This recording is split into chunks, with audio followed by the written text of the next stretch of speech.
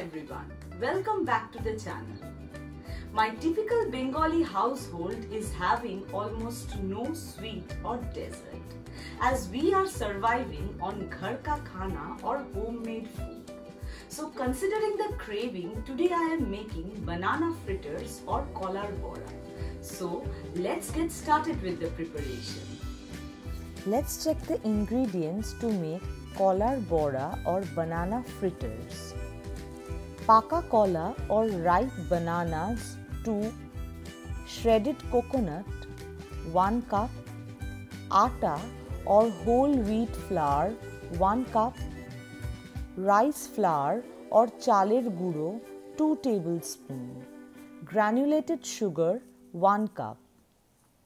For this recipe, you can also use gur or jaggery instead of sugar. Salt 1 4 teaspoon, oil for deep frying. Peel the bananas, mash them using a masher or dinner fork or your hands. Mash until you reach the consistency of baby food. It's better if you use overripe bananas.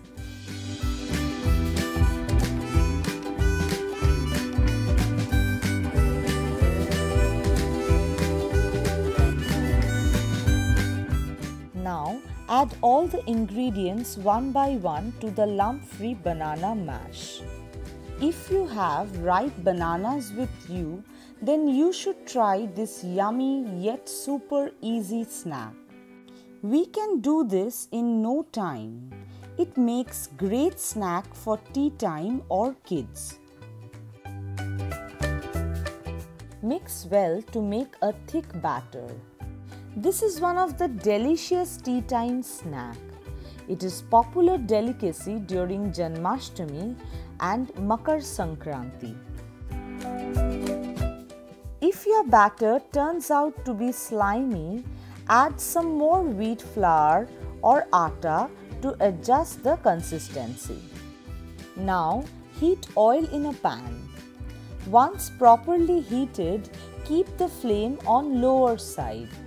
Now pour a dollop of the batter using a spoon or your fingers. Fry the fritters or boras in batches both sides until it is crisp and deep brown in color. Strain from the oil and place over tissue paper to soak excess oil. Serve the fritters in room temperature instead of hot. Dear friends, if you enjoy the recipe, give it a like, share, comment and do not forget to subscribe my channel. You may store the fritters or boras in an airtight container for 3 to 4 days.